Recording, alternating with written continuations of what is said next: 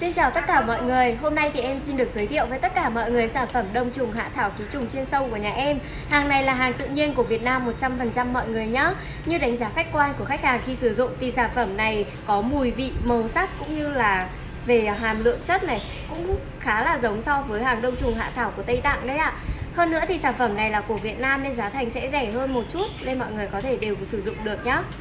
Bên em thì có giao hàng trên toàn quốc nên mọi người hãy nhanh chóng đặt hàng bằng cách là để lại cho bên em xin số điện thoại hoặc là ebook trực tiếp cho bên em để có thể mang về cho mình những sản phẩm đâm trùng hạ thảo hàng